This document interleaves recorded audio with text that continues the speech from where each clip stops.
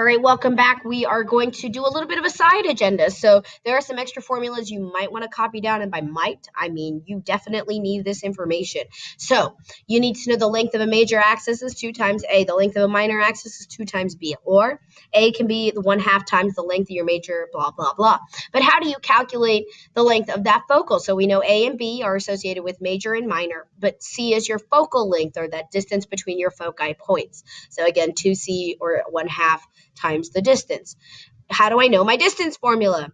Great, we know this information. And why are these relevant? Well, we're about to move into if I'm given a characteristic solve backwards, you will need to use the distance formula or the midpoint formulas, etc., etc. These are things that you are expected to know. You are expected to know the distance formula. You are not expected to know this. This will be provided same with these two up top will be provided. So stuff like that is provided, but the distance formula and your midpoint formula, you need to memorize. Okay, so moving on. Uh, what about the center? We can use the midpoint formula. Here it is again. Again, this is one. Memorize.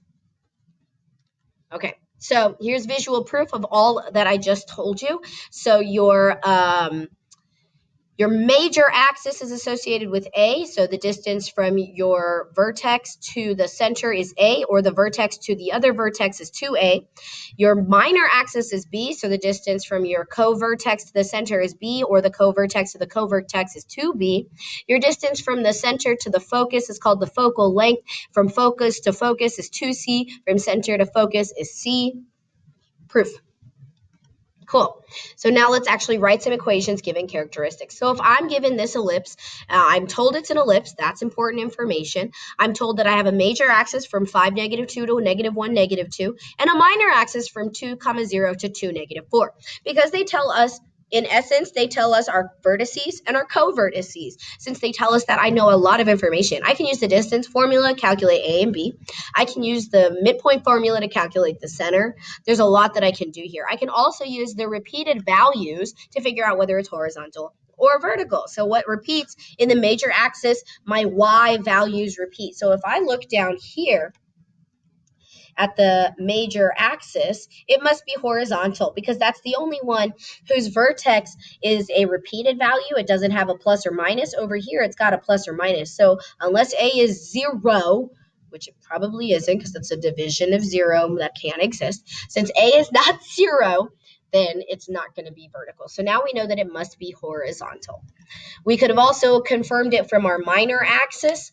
Our minor axis has a repeated value of our x value. And so if I come over here to my um, co-vertices, we can see h clearly repeats.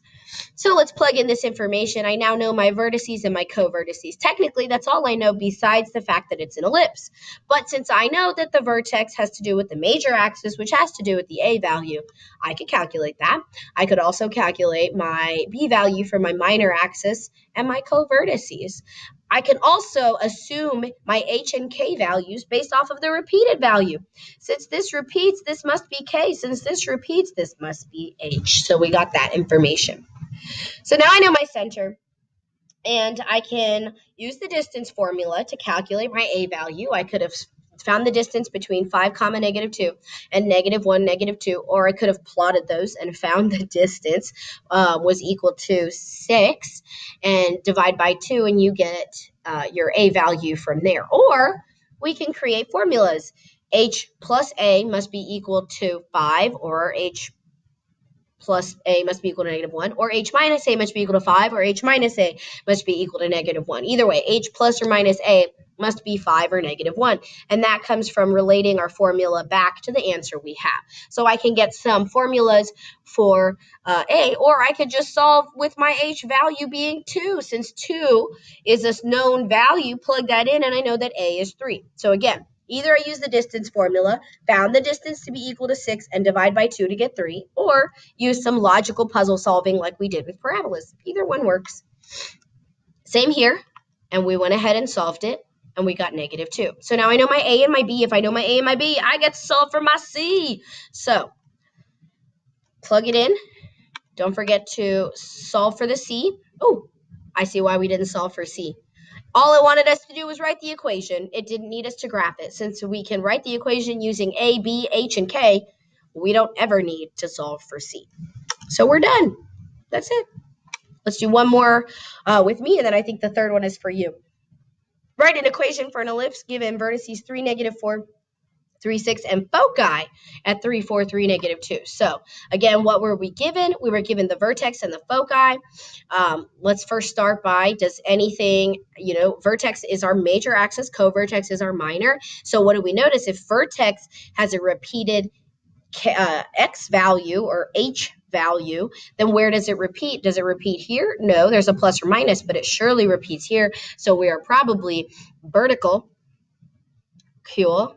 So let's go ahead and plug what we know in. Plug that in, plug this one in, and any information that repeated, well, my h's. So I know my h must be 3. I can get formulas for the rest, but I don't know k, I don't know a, and I don't know c. So I can set up some formulas. Mm, I'm still left with variables. Here's where the distance formula must be used. We should have written this down already. Since we know vertex points, we can talk about the major axis. So we're going to solve for A. We're going to use our distance formula with our vertex points. So we're going to take in uh, our vertex points. Ta-da!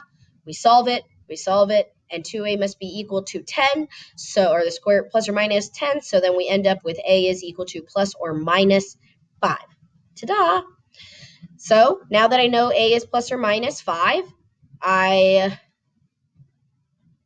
ah, so we could end up with k plus or minus 5, and we end up, we realized that the way we had set it up wasn't quite correct, but that's just because we were making assumptions about our plus or minus. So what this is saying is this should have said k minus a is equal to negative 4 and k plus a is equal to 6, but we would have never known that. Um, so here we go. We got our information. We now know that k is 1. And if k is 1, we can go back and solve for c. So I could have used my foci, its distance, and divided by 2. Or since I've already got it set up, I know A, I know K, I can go ahead and solve for C. It wants to know the total equation.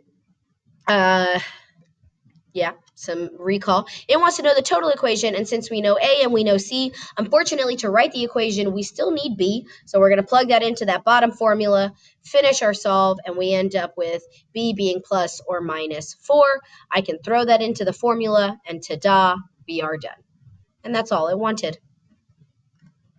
Ta-da! All right, just a recall. This is important information. You need this information. Now it's your opportunity to answer a question on Moodle.